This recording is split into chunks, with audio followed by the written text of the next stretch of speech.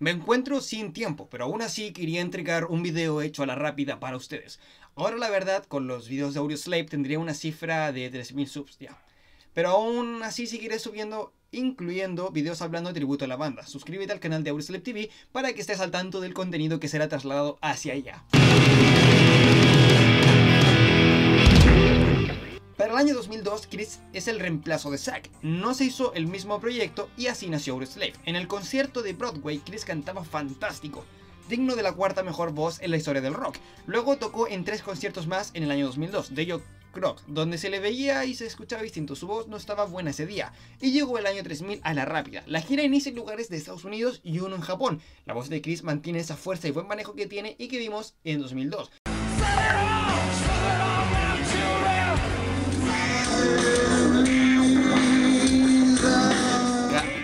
Los shows de la gira de Europa. Conciertos como Rock am Ring, Rocking Park, At Dowlet, Hulsfred y uno que otro que no estuvo en algún prochot. Aquí Chris pierde voz en las notas más altas, como Chow Miharalev y Cochise. Esto es ya algo más notorio en esta gira.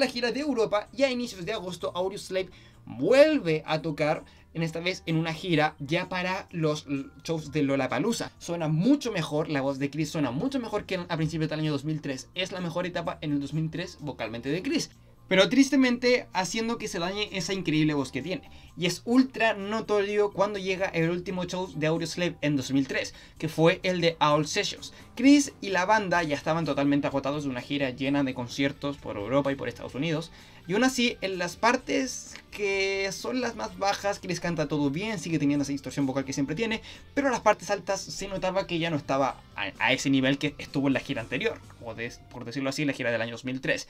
Y aquí Audioslave se toma un descanso porque Chris se vuelve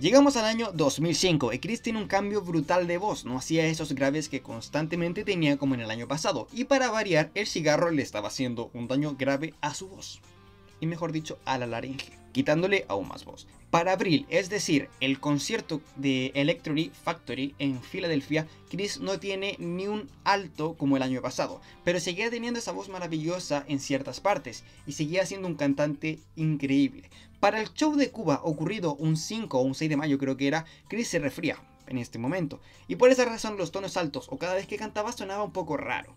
A diferencia de otros shows, como podemos ver. Aquí la voz la tiene más delicada. Obviamente cuando uno está resfriado, su voz está más delicada. Y aún así Chris en ciertas partes se sacrificó para sacar más voz. Como les voy a mostrar en la parte de Set It Off.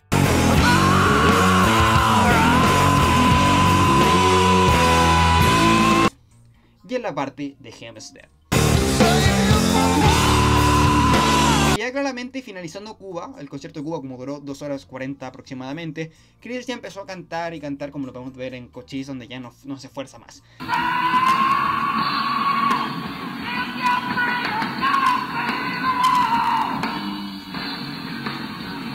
Llegamos al concierto de México, la segunda y última vez donde Audioslave se presentó en algún lugar latinoamericano, donde aquí sí se le nota muy resfriado.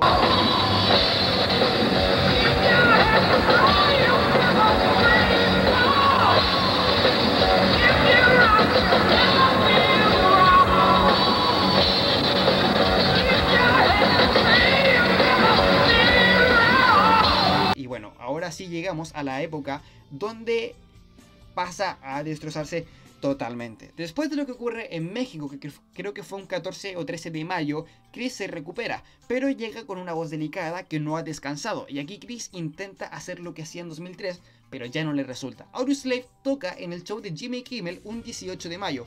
Chris canta casi igual que Cuba, pero con un forcejeo en canciones como Cochise, desafinando un poco. En...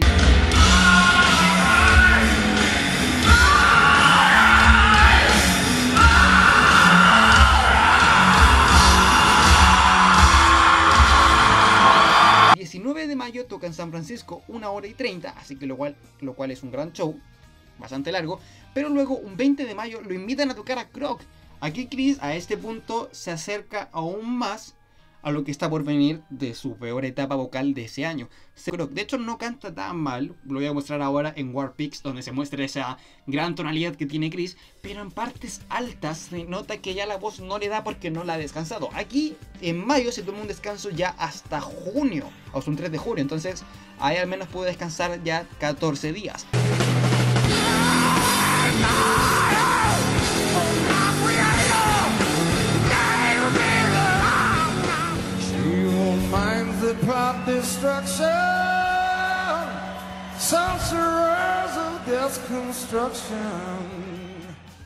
El 13 de junio iniciaría la gira por Europa de Audioslave, y aquí Chris literalmente se empieza a romper la voz.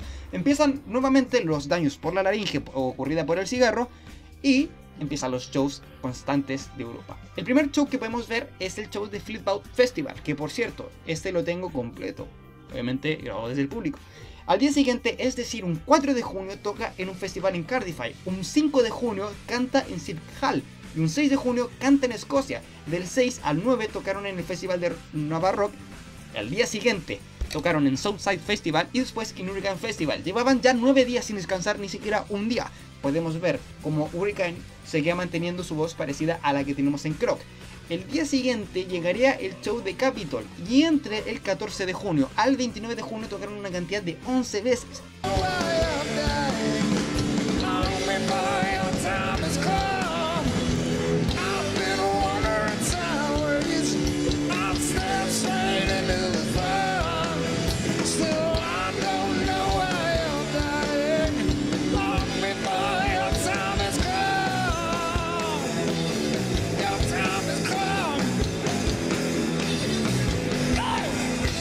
De junio hasta el 21 de junio hubo una cantidad de...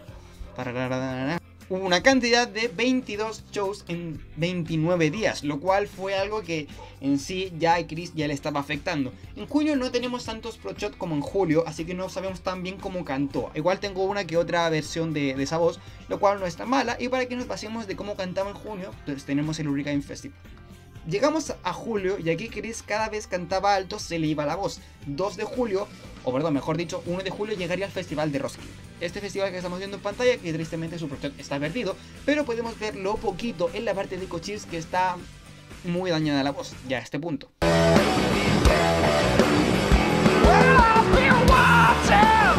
What's the differences to come to Europe and play? 2 de julio llega el concierto de Live 8. Ni hablar aquí, Chris le cuesta cantar en Dosis Romance, sobre todo en el coro, le sale muy bajo, desafina en Black Hole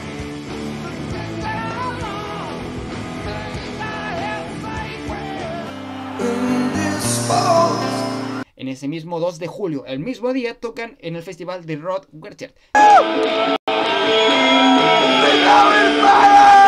Tocan al día siguiente, un 3 de julio, en el ST Open Galen Air.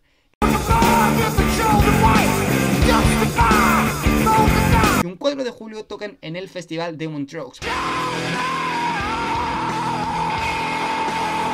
Pasan a Francia un 5 de julio y el 6 de julio tocan en el Core Festival ocurrido en Noruega. Un 7 de julio tocan en Chain the Park y el 8 de julio tocan en Oxygen. Aquí ya todo era una brutalidad gigantesca de conciertos diarios y creo que es bastante común ver como ya en Montreux eh, Chris ya empieza a perder mucha voz y lo podemos comprobar. Es el de Oxegen, el 8, el 8 de julio. Y la verdad, Chumi Haralev, uy, se le va mucho a Chris.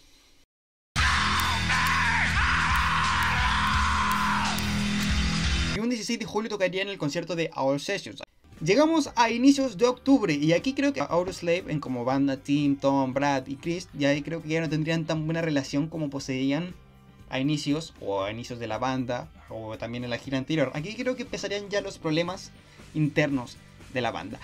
Yo creo que igual la banda tenía pensado sacar Revelations, o tal vez no el nombre en sí, pero sí tenían pensado ya crear un nuevo álbum. Entonces dijeron, bueno, empecemos a tantear un poco, cambiemos un poquito ya ese list, agregaron Hunger Strike para esta época, agregaron una canción más de Rage Against the Machine, que sería Testify, y Dandelan también agregaron para este momento, y en acústico agregaron The Curse. Y dijeron, bueno, tal vez metamos un poquito más a Yesterday Tomorrow, solamente lo pusieron en un show, y agregaron un par de canciones más que vendrían a futuro. Entonces, lo que se hizo acá en octubre fue pensar qué íbamos a traer para la gira del año 2006 o qué íbamos a traer como un próximo setlist para el siguiente año. Entonces ya tenía bien pensado cómo lo iban a hacer para el año 2006. Pero situándonos de nuevo en la voz de Chris, como el descanso fue de casi dos meses, un poquito más de dos meses, eh, a este punto Chris ya se tomó una mejoría de voz. Es decir, ya los tonos altos le salen un poquitito más bonitos, y más armónicos. Y tal vez él lo pensó así en su momento. Pero ya la voz de Gris no iba a volver a ser la de antes. Y yo creo que él lo tenía en cuenta. Así que trató de perfeccionarla. Llegamos ya a noviembre. O sea, ya Auroslev ya estaba aquí ya en sus últimas. Y su última presentación en algún Prochot fue en el show de Much Music. A finales del año 2005 tienen las últimas tres presentaciones que fueron las mismas canciones. Don't Remind Me y Chris se va mucho más por lo armónico y le resulta.